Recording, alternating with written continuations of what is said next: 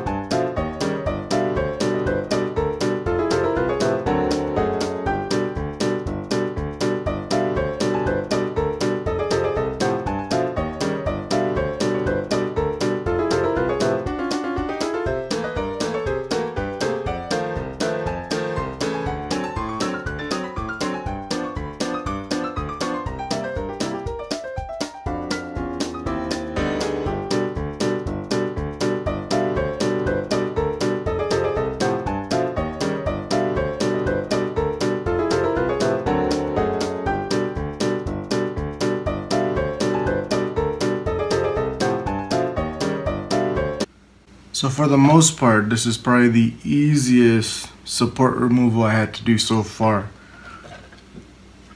Here's the helmet itself. I mean, of course, I got to do a little bit of fine tuning, but support-wise, if you notice, it's good to go. There's no blotches, no nothing on here. Print quality, I'm kind of amazed too. Um, it's getting a little better. But the back I do have a little bit more cleaning to do. I got some removal here and some down here and then just rough edges, which is pretty easy, but the main stuff is actually out. So I'm pretty happy with this and the way it turned out. Can't really complain. I just got to paint it white and I'm good to go. Alright, so this is what it looks like when everything is done. I had to sand down a few parts. Uh, gave it two coats of paint. Started with the black on the inside, then taped it up because there's grooves. Once I've taped with the grooves, I went ahead and uh, just gave it two white coats and it came out pretty damn good. The only thing I'm not too happy with is on the inside, if you notice right there. I went a little too deep as far as taking the supports out. But I'm pretty sure I can fill that up with some Bondo and just re respray it. The inside I only gave it one coat, so I might do one more, but the outside, man, looks pretty damn good. So uh, there it is, finished product. Um, supports everything removed. It was pretty easy to take off, but uh, I'm overall very happy with it. It's probably one of the best pieces that I've made so far from beginning to end. I actually had a buddy offer to buy it from me and I don't know if I want to part with it or sell it to anybody actually. Might just put it up in my game room right above my TV. So uh, with that said guys, like always, if you have any questions, comments, please leave it below.